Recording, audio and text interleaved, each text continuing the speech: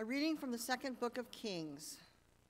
A man came from Baal Shalisha, bringing food from the first fruits to the man of God twenty loaves of barley and fresh ears of grain in his sack. Elisha said, Give it to the people and let them eat. But his servant said, How can I set this before a hundred people? So he repeated, Give it to the people and let them eat. For thus says the Lord, they shall eat and have some left. He set it out before them. They ate and had some left, according to the word of the Lord. The word of the Lord. Thanks be to God. Please read with us the Psalms 10 through 19. All of your works praise you, O Lord, and your faithful servants bless you. They make known the glory of your kingdom and speak of your power, that the peoples may know your power and the glorious splendor of your kingdom. Your kingdom is an everlasting kingdom. Your dominion endures throughout all ages. The Lord is faithful in all his words and merciful in all his deeds. The Lord upholds those, those who fall. He lifts up those who are bowed down. The eyes of all wait upon you, O Lord, and you give them food in due season. You open wide your hand and satisfy the needs of every living creature. The Lord is righteous in all his ways and loving in all his works. The Lord is near to those who call upon him, to all who call upon him faithfully.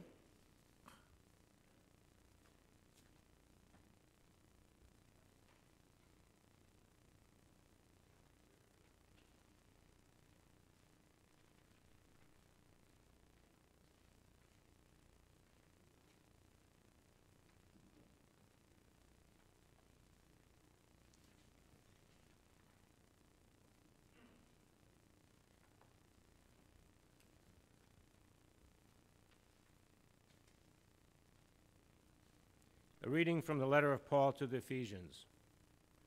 For this reason I bow my knees before the Father, from whom every family in heaven and on earth takes its name. I pray that according to the riches of his glory, he may grant that you may be strengthened in your inner being with power through his Spirit, and that Christ may dwell in your hearts through faith, as you are being rooted and grounded in love. I pray that you may have the power to comprehend with all the saints what is the breadth and length and height and depth, and to know the love of Christ that surpasses knowledge, so that you may be filled with all the fullness of God. Now to him who by the power at work within us is able to accomplish abundantly far more than all we can ask or imagine, to him be glory in the church and in Christ Jesus to all generations, forever and ever. Amen. Amen. Word of the Lord.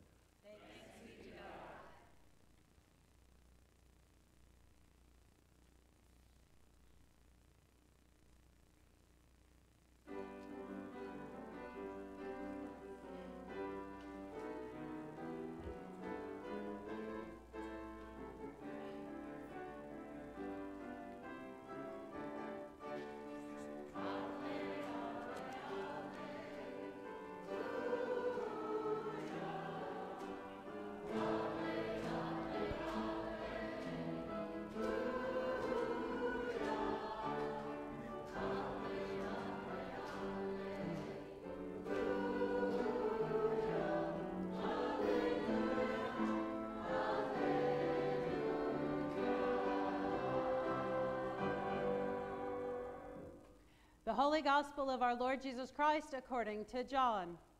Glory to you, Lord Christ. Jesus went to the other side of the Sea of Galilee, also called the Sea of Tiberias. A large crowd kept following him because they saw the signs that he was doing for the sick. Jesus went up the mountain and sat down there with his disciples. Now, the Passover, the festival of the Jews, was near.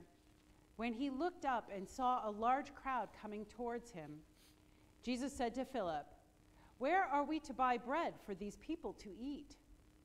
He said this to test him, for he himself knew what he was going to do. G- Philip answered him, Six months' wages would not be enough to buy bread for all these people.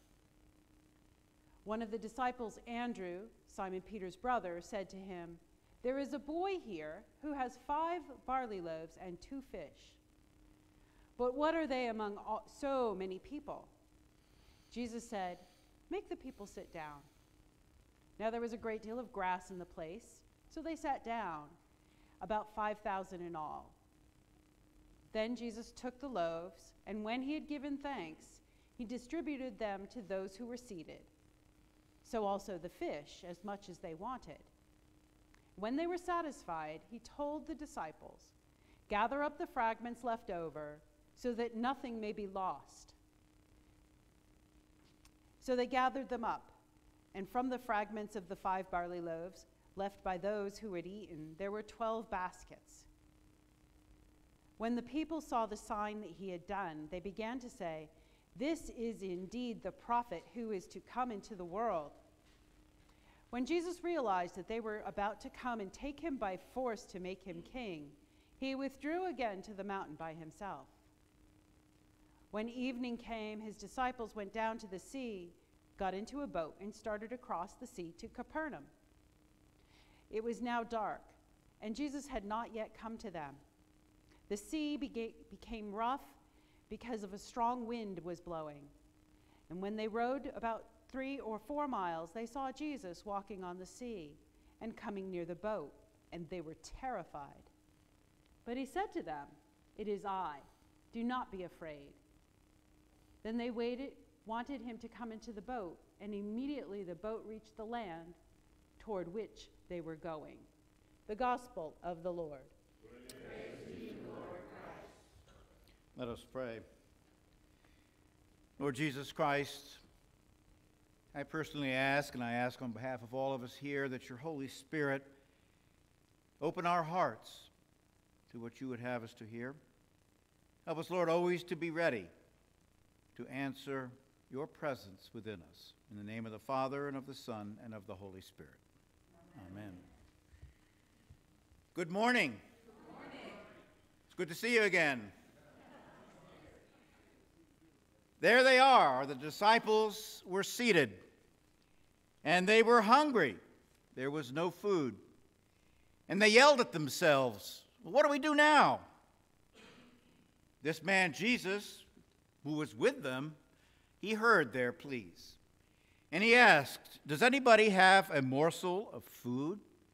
If so, please give me what you have. And there was a young boy who had five barley loaves and two fish. The disciples looked at one another in the crowd and they said, That ain't going to work. The young man, Jesus said to him, Give me what you have. And so he did. And they were fed by Jesus, who used what was there to feed them as well as 5,000 more people. You never know. They looked at Jesus. Wow, how cool. Look at what you did. I'll tell you what, may we make you king, and then all our problems forever will be solved, and we will be fixed never have to worry again. How about it, Jesus? And then the gospel writer of John, John, tells us this. And it's wonderful. Listen to it. When Jesus realized that they wanted to make him king by force, what did he do? He ran away and hid himself in the mountains again to be alone. He ran away. When you see that response of Jesus, it confronts, I think, big time, what you and I together call power. For most of us, power is all about control. Fix it, fix it now, right the wrong, do it now, chastise those who need to be punished, Turn our often deserts into plush gardens. Turn my anger into laughter. Make me a success because I need it. May I never be lost again. Folks, I'll be honest with you. When I do that, which I don't do anymore, but when I hear others doing it, it oftentimes sounds like we are trying to tell God what we want God to do. Power control, ability to change outcomes, and do it just because. Make everything right. Feed the 5,000. Muscle, control, force, get it done. Power. So we need a king who will do what we want. To which Jesus responds by running away. No way, Jose.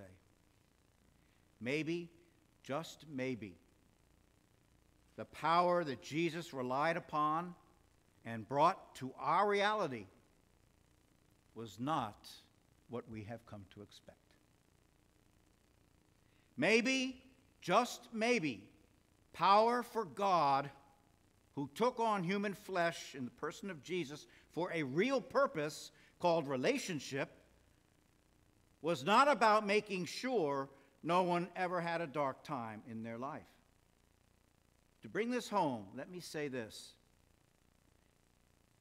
For many people, and maybe you are one, we like to believe that God is about this kind of power, that God is in control of everything.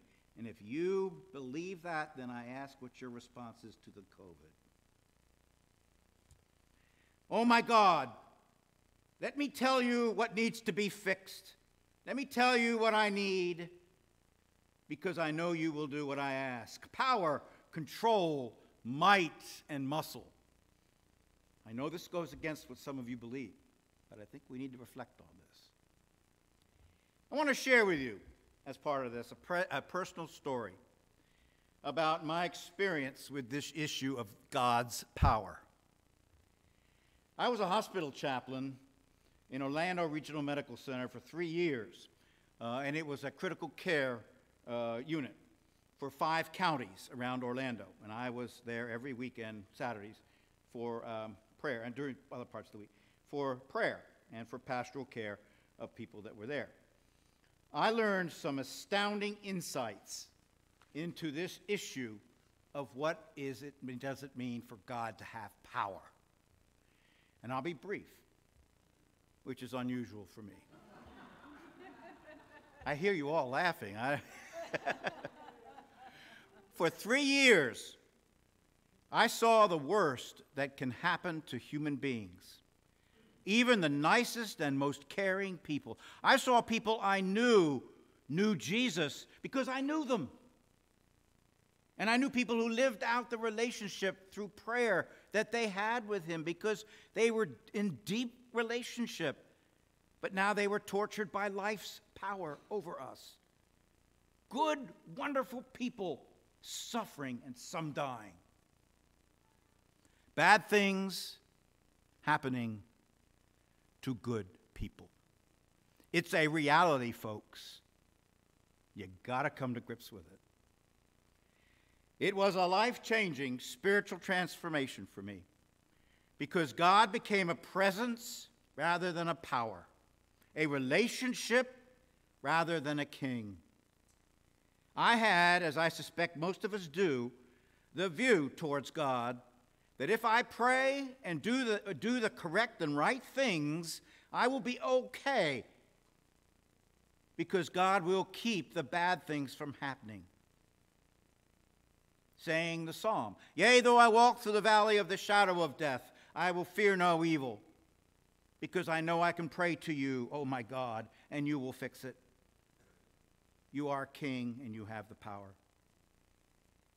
I came to see over time, folks, and over time and experience clearly, clearly, clearly, and it was not easy, that God is not the kind of king I sought a relationship with so that I could be safe. Because there is, folks, no guarantee. Never was, never will be. I had to preach an Easter sermon to a congregation 800 people and had a very difficult time doing it because I now saw the reality of the presence of God as no longer one of power. I now saw clearly why Jesus ran away from those who sought him to be king. Because Jesus was God's presence in the midst of humanity. And the Holy Spirit is Jesus is God's presence in your soul. Bad things do and will happen to good people. That's a reality that we all have to live with. And there's not a thing you can do or say that's going to change that. So here it is. Maybe your personal relationship or our personal relationship with God is really not, oh God, use your power to make everything right and fix what is wrong in my life because you are the king. That's the power Jesus ran away from. It's the power that the disciples ran towards him for. So, question to ponder What happens when you pray for something and you say, God, fix it, and it doesn't get fixed? Or it even gets worse. That's, that's what I had to come to grips with. Changed my relationship with God in a way I now can tell you about. So let me offer you something here. Could not God's power be about relationship, about presence, about God's presence with you, no matter how dark your life might get? Bad things can and will happen to you. Trust me.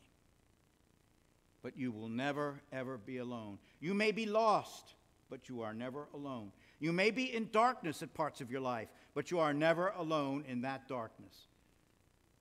I give thanks to God every morning when I say a prayer about my newly married daughter and her husband.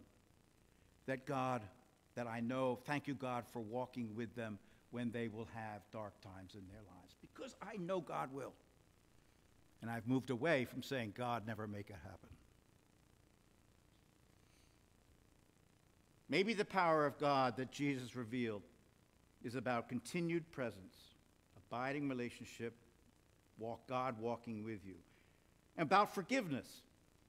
When we ask forgiveness for our goof ups, errors we make with those we love, and then we hear God say, Yeah, you did boo boo, but I'm still with you, now and always. My presence is about, my power is about presence, continued presence, abiding presence.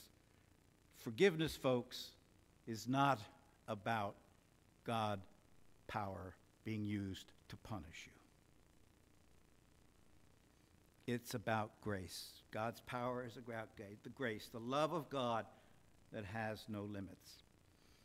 Fix my evil doing, O God. You have the power. Make a wrong a right, and all will be well, is the prayer that we make. But then you hear God say, No, folk, no, my friend, you have to fix it. But know always, no matter what you did, I am with you and always will be. How cool is that? Power is about presence, personal connect. I will walk with you as you go forward through bad times. I am with you. There are and will be hurts in life. And yes, please pray to God because prayer is about connect, not control. Prayer is about a conversation between two friends who know each other, not about God fix it for me. Yea, though I walk through the valley of the shadow of death, I shall fear no evil. Why? Because you are present with me. I'll close with this. It comes from the epistle this morning.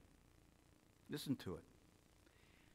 Pray, uh, Paul is uh, saying a prayer basically for the congregation, one of the early congregations that he was in charge of.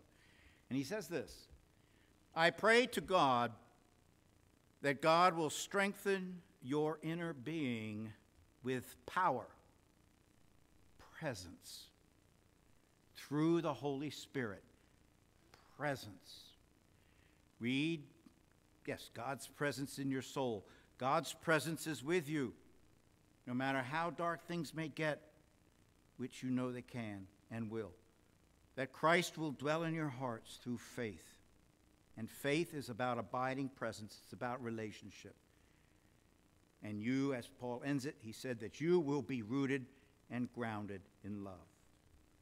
In other words, hear God say to you in the depth of your soul, no matter how hungry you may be because of what's going on around you, I will be with you no matter what.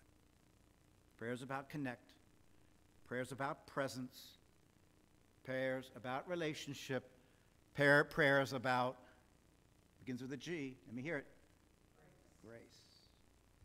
And grace, my friends, grace, my friends, is God's abiding presence.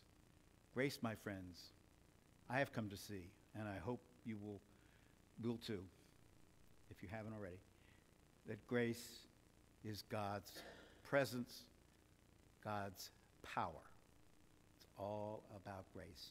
And that's what will make a huge difference in your life. In the name of the Father, and of the Son, and of the Holy Spirit. Amen. Let us stand and say together the nice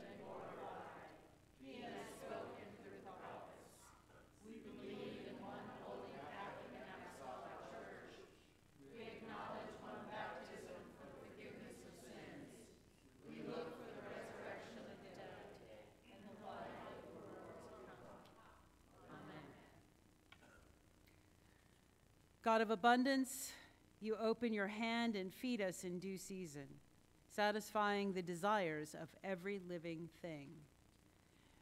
You are just in all your ways and kind in all your doings. We pray for the families of nations, the families in our community, and in our own families, that they may have all they need to live in peace and harmony. We pray especially for our President Joseph and our Governor Ron, and those in the military Miguel, Charles, Travis, Mike, and Matt. You are just in all your ways and kind in all your doings. We pray for all churches and denominations that we may find ways of cooperating to care for the earth and to care for those in need while giving you the glory in all we do. We pray especially for Carla, Ev, Richard, and Lisa, and for Michael and Dabney. In our diocesan cycle of prayer, we pray for Holy Innocents Valrico, Holy Trinity Clearwater, Iona Hope Fort Myers, Lamb of God Fort Myers, and for our Episcopal College chaplaincies at Florida Gulf Coast University in Fort Myers and State College of Florida in Bradenton, and for Resurrection Episcopal in Largo. And in our Anglican cycle of prayer, we pray for the Scottish Episcopal Church. You are just in all your ways and kind in all your doings. God, you are near to all who call out to you. Use us as you used the boy with two fish and five barley loaves to answer the cries of the hungry. We pray for our outreach ministries, Crafters for Hope, Sure, St. Wilfred's Food Pantry, and Ashton Elementary. You are just in all your ways and kind in all your doings.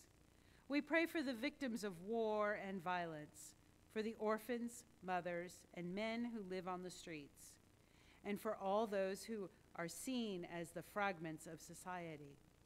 May they be gathered up so that no one is lost. You are just in all your ways and kind in all your doings. We pray for the sick and those facing the end of their days. May Christ dwell in their hearts through faith, and may they know that they are rooted and grounded in love.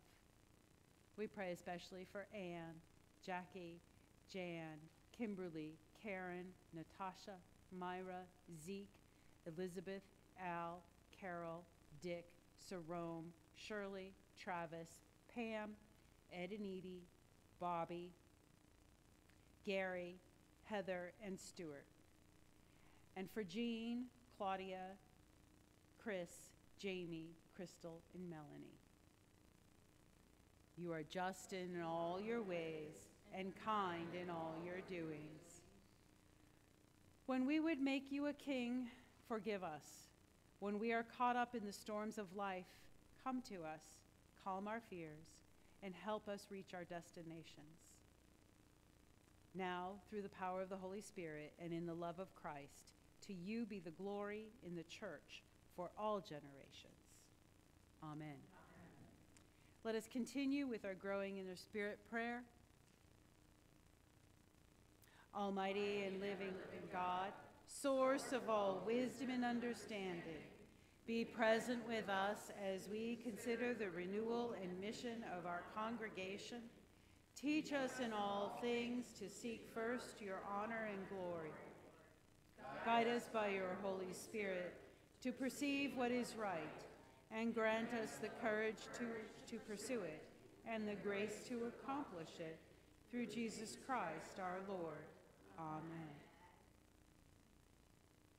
Let us confess our sins against God and our neighbor. Most merciful God, we confess that we have sinned against you in thought, word, and deed, by what we have done and by what we have left undone. We have not loved you with our whole heart. We have not loved our neighbors as ourselves.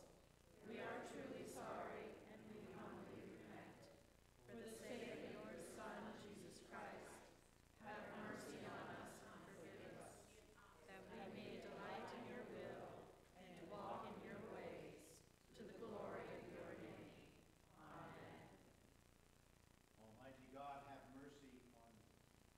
forgive you all your sins through our Lord Jesus Christ, strengthen you in all goodness, and by the power of the Holy Spirit, keep you in eternal life. Amen. And the peace of the Lord be always with you. And also with you.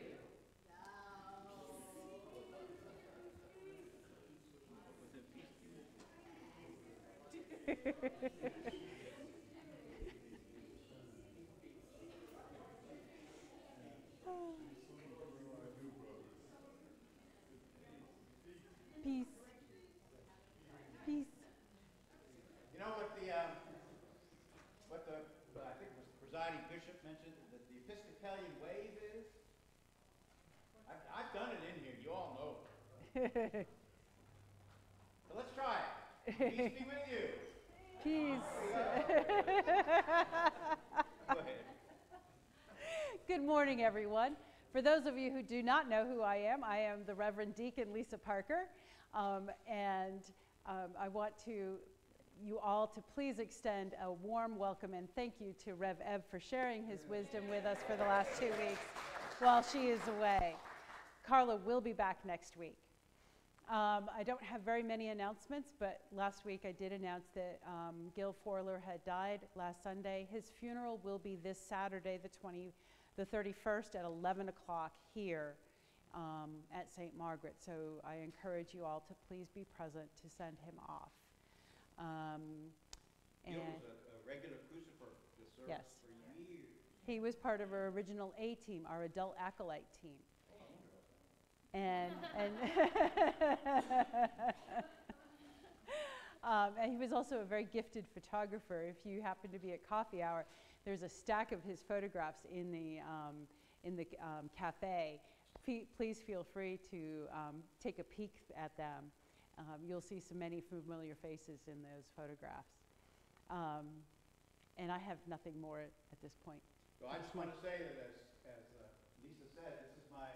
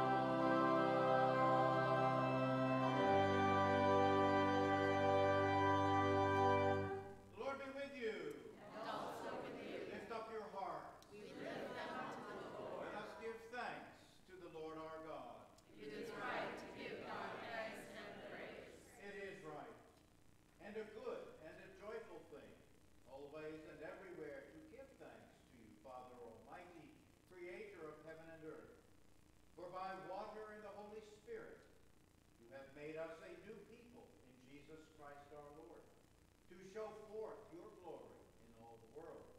Therefore we praise you, joining our voices with angels and archangels and with all the company of heaven, who forever sing this hymn to proclaim the glory of your name.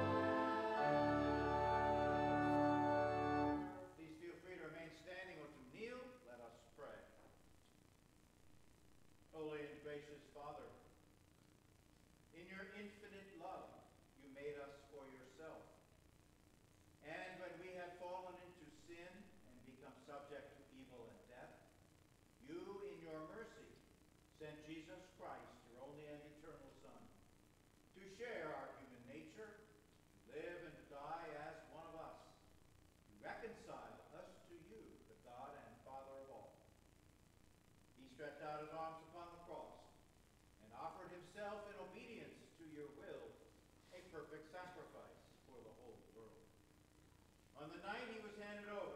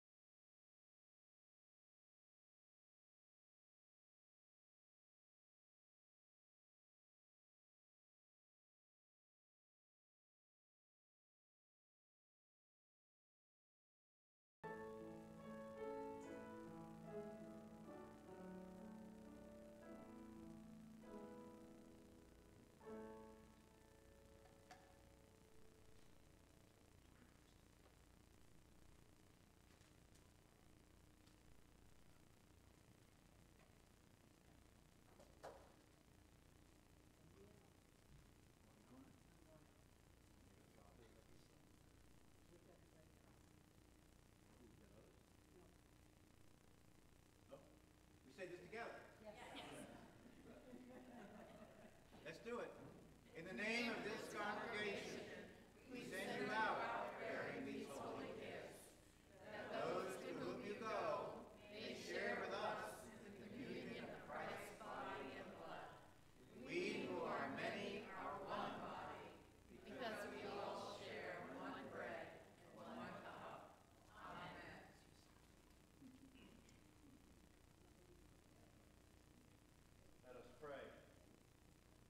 eternal.